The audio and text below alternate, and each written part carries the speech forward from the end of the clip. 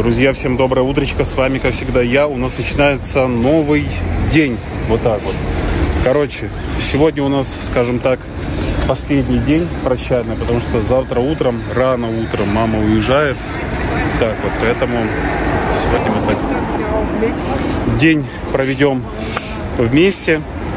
А вечером она уже попрощается с детьми, потому что когда они проснутся, она уже улетит.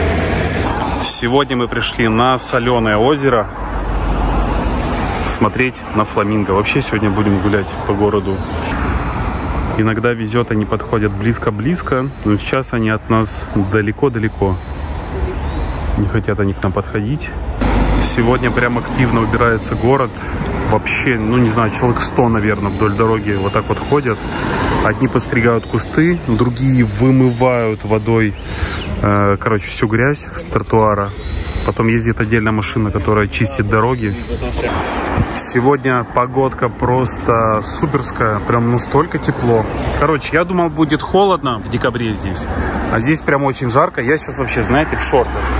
В шортах и в кроссовках. Единственное, вот в теньке надо кофточку одевать, а если на солнце, то можно вообще футболку снимать, можно лежать, загорать, в принципе, так многие делают. Многие даже на великах катаются, без футболок, чисто в шортах. Вот, поэтому погода вообще суперская.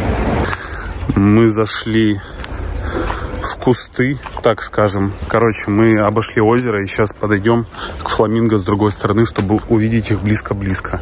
Вышли мы с другого конца озера. Я здесь никогда даже не был в этом месте. То есть обычно как бы мы возле дороги гуляли.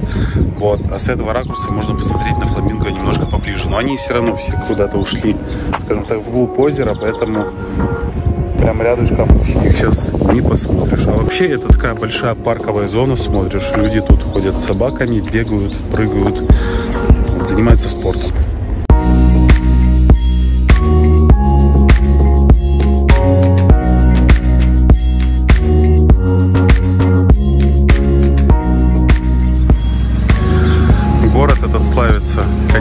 Этой вот скалой. Я уже не один раз на нее поднимался. Говорил Никите, говорю, давайте сегодня подниметесь. А они что-то не захотели. Вот, ну не знаю, может другой день поднимутся. Ну, мама уже точно не успеет подняться. Кто-то просто гуляет вдоль моря. Видите, там на досках катаются. Люди только что купались, уже вышли из моря.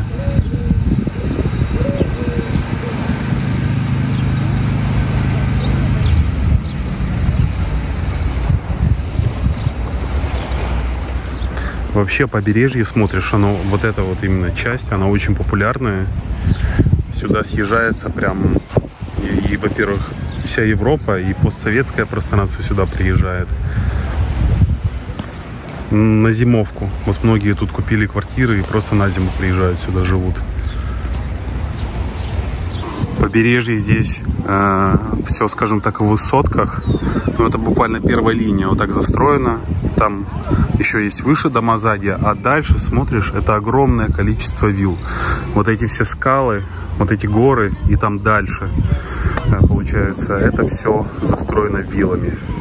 Ребята из Африки здесь продают обувь, одежду, сумочки, ну, все, что хочешь. Они так вот раскладывают. Но вот если в больших городах, там, в Барселоне видел, они эти тряпки, э, к ним приделаны веревки, чтобы если вдруг едет полиция, они бы убегают. Ну, они, они сразу это все хватают, убегают. То здесь они как бы все раскладывают свободно. Никто их тут, наверное, не гоняет. Сумочки, Луи Виттон, Дольче Габбана, Армани. Все, что хочешь.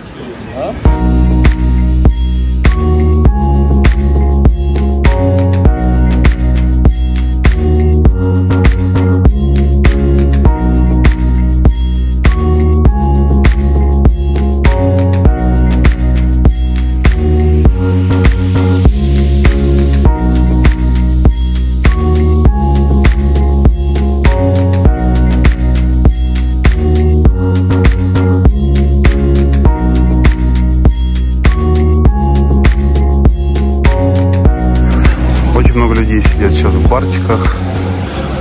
Коктейль-бар. Сидят, пьют коктейли, смотрят на море и загорают, кстати, вот так вот. за столиками. Сегодня у нас утро начинается вообще с такого, скажем так, релакса, с прогулки возле моря.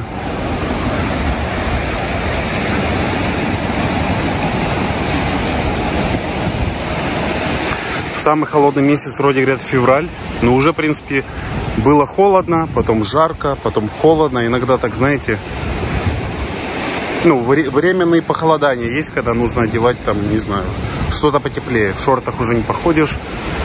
Но сейчас я смотрю, бро, вообще настолько тепло. Сегодня скала прям очень, скажем так, красивая, потому что иногда по низу проходят облачка, но сейчас вот еле видно, иногда они прям такие, прям сильные, иногда вот низ не видно, а видно верхушку, оно то есть, то нету, короче, классно. Ну а вот твои какие впечатления вот э, про вот побережье Испании? Ребята, во-первых, на побережье Испании живет моя семья. Да. Это первое, куда я ехала, это к да, семье. Да. Все равно то, где бы они ни жили. Да, то есть ты ехала, ты же даже особо и не знала, куда ты едешь. Я вообще да, ничего первое, не ждала. У меня Испания ассоциировалась это с Барселоной. Больше я как бы особо не знала. Знала дату приезда. И второе, что хочу сказать, спасибо большое, что мы здесь побывали и э, посмотрели очень много. Есть свои плюсы, минусы, э, есть очень хороший пляж, очень интересно. А есть, конечно, так себе.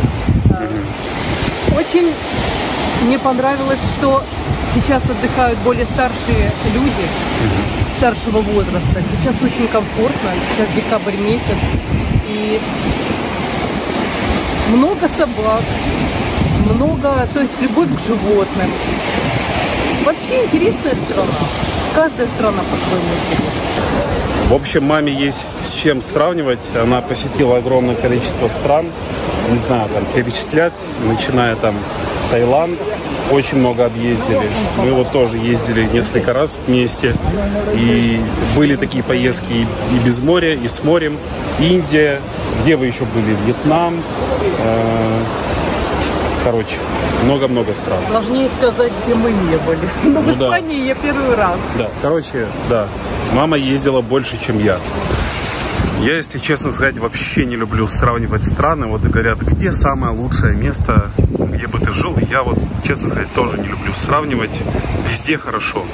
Везде есть свои плюсы, везде есть свои минусы. Но, конечно, в первую очередь нужно, знаете, ездить и самому смотреть. Вот. Вот ты приезжаешь в место, и вот что ты чувствуешь? Твое, ну не твое место, нравится тебе, не нравится. Ну, не обязательно в нем жить, просто иногда можно сюда приезжать, если понравилось ну, в какое-то место, имею в виду. Мне вообще, ну, мне, короче, все нравится, так я скажу. Я был в Индии, там хоть было грязно, то есть, ну да, я бы там не жил, наверное, но там прикольно было. Мне тоже впечатления про Индию очень яркие остались.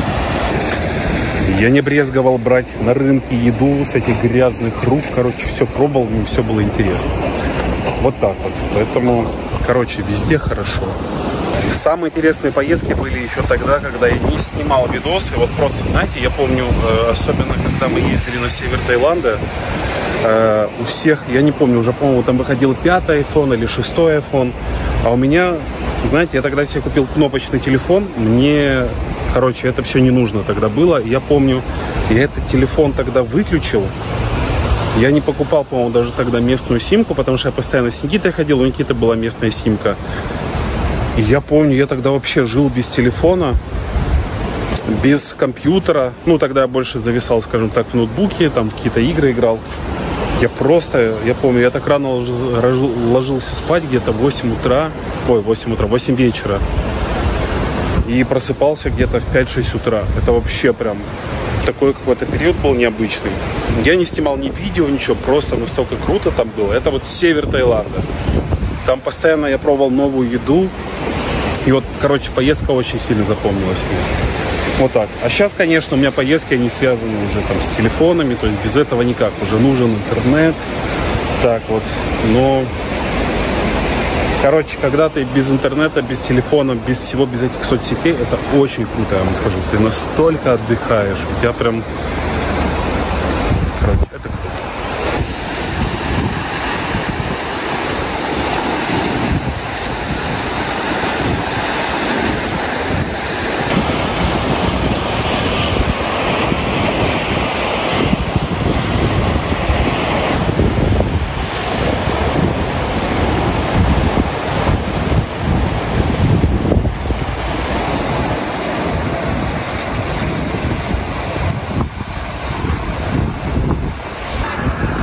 Я хожу и смотрю все дома в одном цвете. Смотрите, просто они их вот сейчас видно перекрашивают. Видите, он был такой темный, облезший, но они что-то там позамазывали, а сейчас они их красят в такие вот э, уже более светлые тона, потому что вот этот дом, ну, короче, вот они все в одном цвете, видите, стоят. Вот это единственное, такие красноватые, и дальше тоже вот эти в одном цвете стоят.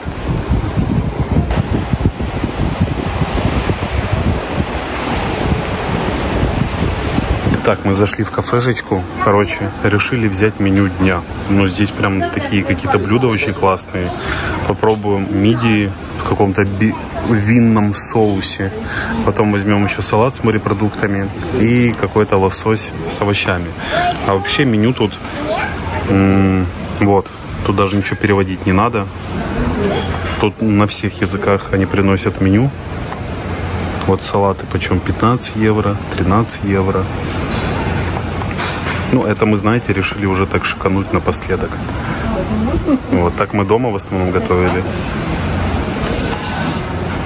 Итак, первое, что нам принесли, смотрите, это я заказал какие-то э, мидии в винном соусе, а еще заказал салат из морепродуктов. Если бы я знал, я бы заказал два салата из морепродуктов.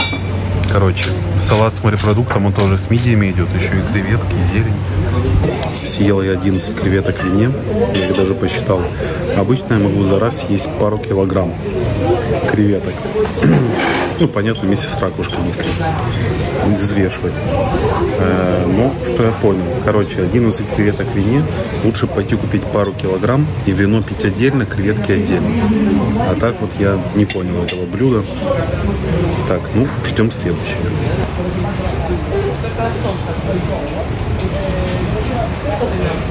Итак, следующее блюдо, смотрите, тунец с овощами. Давайте польем его вот этим вот соусом. Ой, какой тунец? Семга. Ну что, приятного аппетита. И на завершение у нас десерт и кофе. Ну там идет, знаете, как либо десерт, либо кофе. Поскольку мы взяли два меню, мы взяли и кофе, и десерт. Было принято решение, что это все съем я. Ну что, мы уже готовимся э, к отъезду, точнее мама готовится, а мы как бы ее морально поддерживаем. Сейчас тестируем эти весы. 6 по полтора. Это сколько будет, Лех? 6 по полтора. Девять. Правильно. Сейчас весы проверяем. 9,5. Вот я Да. знаю, они часто обманывают где-то на, на пол килограмма, ну, в большую сторону. Вот. Поэтому, когда у меня небольшой перевес, я обычно не переживаю. Покажи свои весы, как Вот. они выглядят. Это Вот. такие дорожные весы, да? Да. Можно ставить в килограммах. Можно... Какие еще единицы измерения? Центнер. Там какое-то, да, второе есть. Футы, наверное. Нет, наверное. Не знаю, не знаю. Ну вот. Так, будем взвешивать сумку. Давай. У него какая норма? 20 килограмм, да? килограмм. по-моему? Ой. Итак, пробуем. Сколько показывает? 26. Короче, там около 20 килограммов, значит. А, ну да, прям можно сказать даже ровно. Да. Ну, даже если 26, на самом деле, мне ни разу не было в аэропорту, чтобы мне кто-то что-то сказал. Да? Честно. У меня даже было 21 там с копейкой, ничего не говорили. Ну, у меня, по-моему, то же самое так было. Вот. Ну, то есть, мне, я 26 даже не переживал. Вот с таким чемоданом, ну, короче, на, наверное, на него еще надо было бы чехол взять. Ну, уже ладно. Это, мне кажется, не надо нам. Да? Там он тканевый, смысл-то. Да. Просто чехлы рвутся. Если кто знает, где чехлы классные взять, то скажите, а то мы Юлей купили. Они все нормальные вроде как.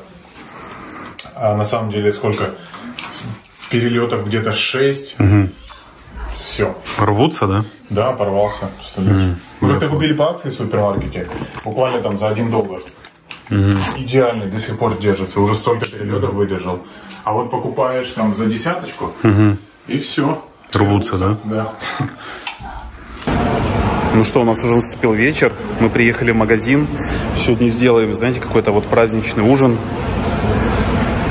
Я думаю, что делать на ужин? Креветки. У нас креветки есть. Ну, у меня есть в заначке креветки. Вот. Хотя давайте сделаем креветки сегодня на ужин. А, не идем в магазин? Надо что-то креветкам просто взять.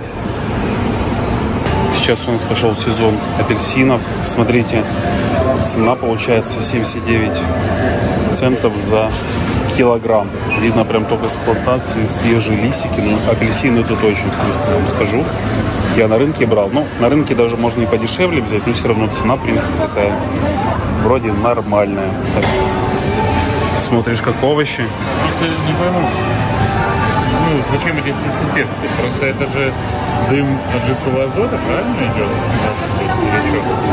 Явно не увлажняет. Ну, это как на сцене, дымовые эффекты. Ну типа. да, да, да. Просто, ну, по увлажнению мы же видим, что ничего на не Увлажнения увлажняет. нету, да? Или есть? Ничего нет, нет. Может, какое-то минимальное там идет. Ну, лук, в принципе, как есть, завязший. Так Не, и- ну красиво, согласитесь. Ну, это красиво, да. А, есть, есть, смотри, на баклажанчик. А, да, да. Баклажанчик перед вами. Вот он, Видите? смотрите, вспотел, значит, это увлажнение. Идет, да. Ну что, мы все купили, в принципе, мы тут за- забежали так быстренько в магазин, нам не нужно было там много затариваться, поэтому покупок сегодня я показывать не буду. Вот, покажу креветки. Мы взяли курицу, хумус, э, потому что дети у нас, короче, вот не любит Даша креветки, Аня не любит креветки. Вот так вот, минералочку взяли Вот ледик. и ледик. Ну что, мы вернулись домой, и сейчас я буду готовить креветки. Почему-то зрители подумали, что они у меня закончились. Вот они еще есть. Еще где-то тут полтора килограмма, да, наверное. Да, нормально. Так, закрываем. Переживаю. Сейчас мы быстренько э, бросим под воду. Смотрите, детям я делаю курицу, но мне Никита сказал, что я уже опозорился. Да, позорился. Потому что я положил курицу не на раскаленную сковородку, правильно? Да, да, да. Получается, что не, бю- не будет... Короче говоря, мне еще папа говорил, если раскаленное, то получается, что мясо не соприкасается, по сути, со сковородкой с маслом. Оно не впитывает масло, понимаешь? Ну да, А так оно сейчас просто в себя берет его и все. и впитывает. Вот что сейчас теперь будем делать? Я Всё не уже? знаю. Ну, короче, на дизлайк заработал. Ну ладно. Ну давайте лайк, но авансом дадим уже, хорошо.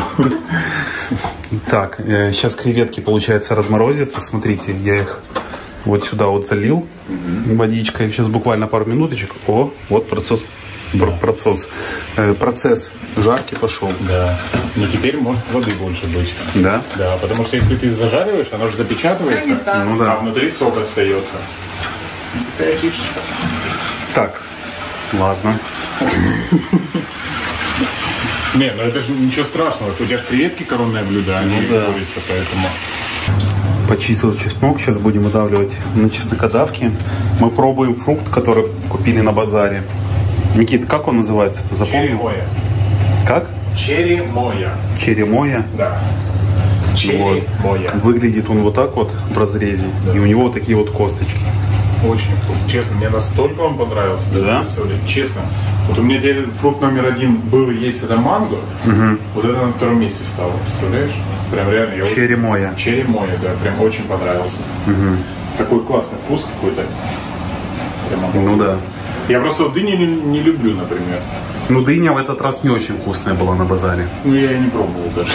Да. А вот, а вот это прям что классно. Так, курицу я уже перевернул ее. Ну, и знаете, я так быстро делаю, поджарил. И все уже без каких-либо, скажем так. Да, надо наоборот говорить, это классная курочка, обалденная диетическая. Классический рецепт, да. Да, прям. Я вот оливковое масло для креветок использую.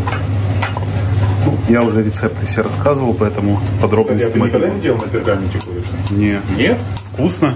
Просто, не надо ни масла, ничего. Юля постоянно делает так. Короче говоря, просто стелишь пергамент и кладешь курицу. Все, ничего не надо. Ни масла, ничего не добавляешь. И получается, что она реально вот эта диетическая такая. Как-то попробуй сделать классно. Прикольно. А д- продают даже специальные пергаменты, бывает э, вот эти всякие специи наляпанные уже в них. И типа вот они там со специями. Но на самом деле берешь обычный пергамент и если хочешь там посыпаешь перец, соль, то, что тебе нравится и все. Классный вариант. Если прям реально хочется диетическое, то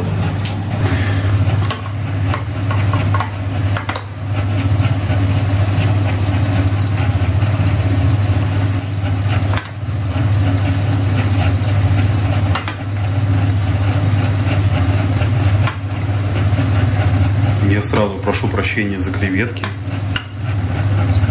Я знаю, что я уже надоелся, но, знаете, поскольку сегодня у нас, скажем, такой прощальный вечер, я не мог их не приготовить. Но это уже все креветки, которые у меня были. Больше креветок нет. Это последние креветки, больше креветок у меня нету, поэтому, э, наверное, в ближайшие пару видео креветок не будет. Вот. Ну что, курица приготовилась. Э, следующее, что мы делаем, это макароны. Ну, знаете, сегодня такой простенький ужин. Вот, креветки тоже запекаются. Мне очень понравились вот эти вот макароны, такие закрученные, они прям получаются гигантские. Ну, короче, вкусные. Пачка стоит примерно евро 10. Сколько тут? 500 грамм. Варить 16 минут. Никита готовит салат. Салат у нас из тунца, зелень, помидоры, оливки и две банки тунца. Ну что, вот он наш прощальный ужин. Смотрите. Классно.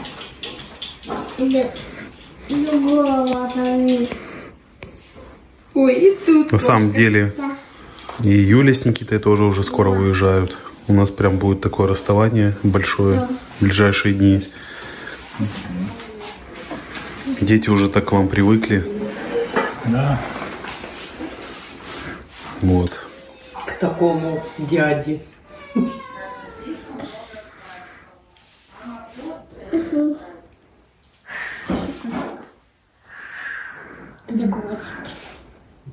Сейчас мама прочитает сказку Даши. С Аней они уже попрощались. И рано утром мы просыпаемся и будем уезжать.